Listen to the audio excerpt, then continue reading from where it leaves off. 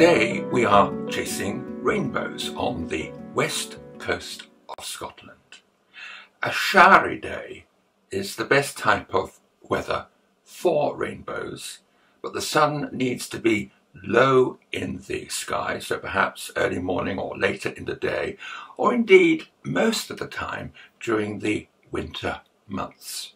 Now you're going to have to get wet at this game because the larger the raindrops, the stronger the colours. And incidentally, when you get a second rainbow, the colours, the order of the colours is reversed. A bit of folklore about rainbows. I'm sure you are familiar with the leprechaun and the pot of gold at the bottom of the rainbow. But did you know that in the 13th century it was believed that if you passed underneath a rainbow, you will change sex? And I'll leave that to your imagination.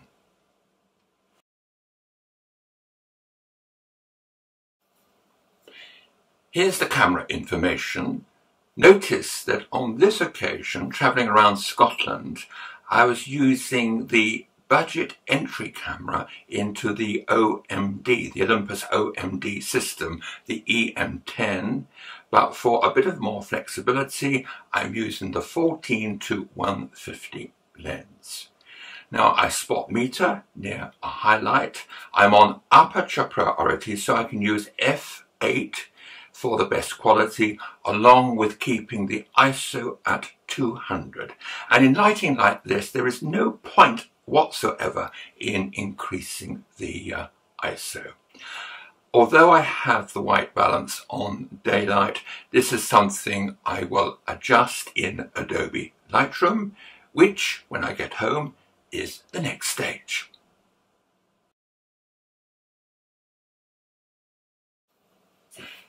Back at home, we come to the post-production stage, and I'm using Adobe Lightroom.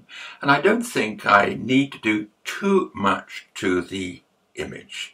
Nevertheless, I'm going to change the camera profile to landscape as it gives the colours a little bit more punch and also at this stage I will play around with the white balance and I've increased the exposure just a little bit and also I've increased the contrast but not too much. To tame the highlights, I take the whites and highlights right down and then, not too much, I add a little bit of clarity, vibrance, and I don't normally do saturation, but I have done so on this occasion. Finally, I've straightened the image. It was going down a little bit to the right. And now we are ready for importing into Adobe Photoshop, where I will continue with any adjustments which I can't do in Lightroom.